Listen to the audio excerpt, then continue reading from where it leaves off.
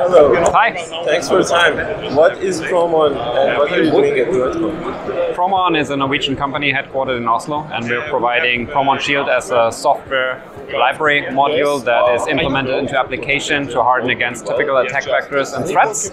So our mission is to give you strong security against Android malware, but also attack techniques and tools inside your application. Our mission is that uh, app developers have an ease of integration, not much effort, easy to use, easy to understand, easy to integrate post-build, post-compilation, not on the source code level necessarily, and the end consumer of your application project should not necessarily see and notice the security module, just enjoy a secure hardened application. So should I be a bank app to, to use your services or you, you also suggest your services to other apps? Yeah, it's correct. Promon is uh, starting since 2006 in the market since 2009 on the financial and banking uh, sectors. But meanwhile, we have customers in uh, several verticals like gaming, e-health, automotive, IoT. So it doesn't matter if you have a banking app or whatever app. It's important for us to understand your use case, your needs, your pain points, and then match it with our product and technologies to address basically and helping you um, getting a more robust app against uh, scenarios that you would like to protect.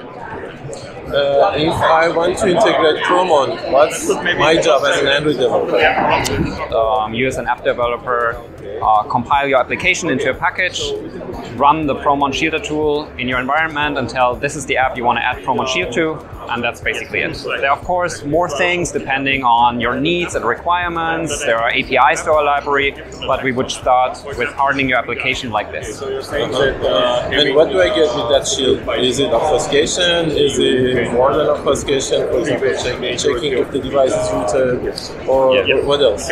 Yeah, first of all, our uni- uniqueness is um, isolating and controlling the process, which is the app execution, and that results in many features like anti-debugging, understanding what emulators are, screen reading, uh, and furthermore. But yes, you can also obfuscate your code.